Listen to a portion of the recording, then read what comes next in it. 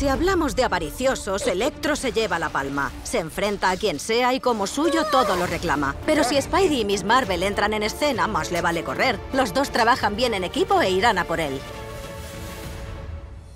Suena la alarma del banco. Algo está pasando. Que alguien está robando el banco. Electro sale del banco con un montón de dinero. Nuestros superhéroes quieren ayudar, pero no se ponen de acuerdo. No saben qué hacer, así que Spidey entra en acción. Corre a por Electro, pero se complica la situación. Ahora le toca a Kamala, así que el brazo alarga. ¿Crees que vas a detenerme? Te vas a llevar una sorpresa.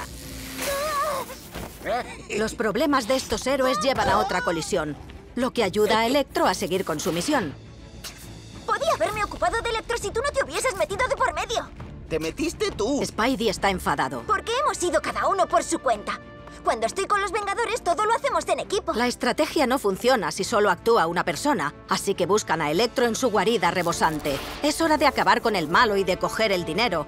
Spidey tiene una idea y la cuenta con presteza. Necesitar ese trabajo en equipo del que me hablabas. Primero distraen a Electro y lo hace Spider-Man. Después es Kamala quien sigue con este plan.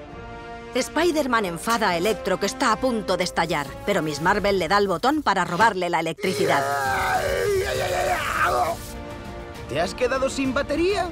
Spidey se toma un momento para descansar y Electro, muy enfadado en estas manos tan grandes, puede entrar. Ella lo lanza por los aires y le hace gritar. La situación han conseguido salvar.